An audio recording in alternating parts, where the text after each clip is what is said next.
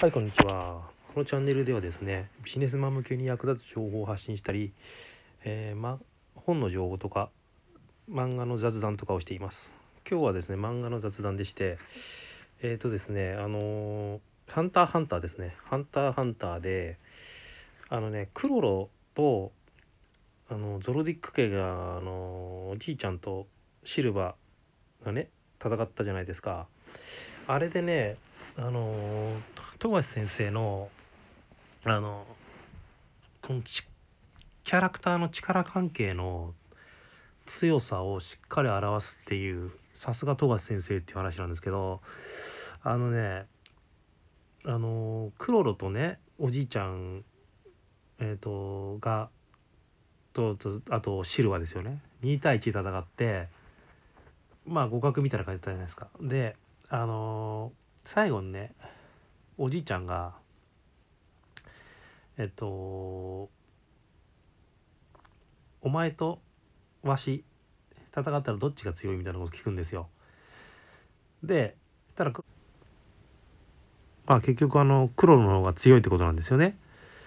であのその後にシルバがあのクロロと睨み合うんですよ。であれっていうのはシルバとクロロの力関係がどっちが強いかっていうのをはっきりさせないんですよ。そこは富樫先生のテクニック。うん。そこはまだはっきりさせない。うん。ちいちゃんよりはクロロが強いんだけど、シルバー、まあ、キルバの父ちゃんですよね。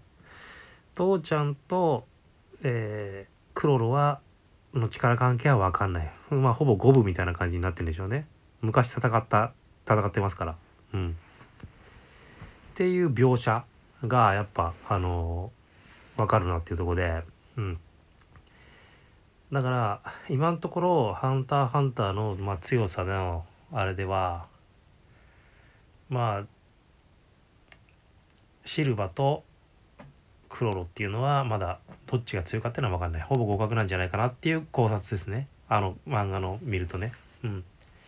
ただじいちゃんはそれにちょっと劣ると。ゼノか。ゼノね。うん。ゼノはクロロよりも弱いということですね。うん。っていう力関係が見て取ります。うん。まあ細かい描写なんですけどね「ハンターハンター」ってすっごく深いですよね。そういうなんかあの細かいその文字にはなってないんだけどちょっと睨み合う感じで。描写したりとかそういうところがすごい面白い漫画ですよね。うん、っていう話今日はね強さのその描写の話でした。はい。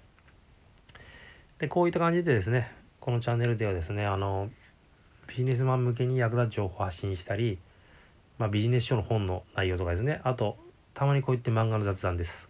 はい。なんかコメント等ありましたらお願いします。またチャンネル登録、いいねってのもお願いします。はい。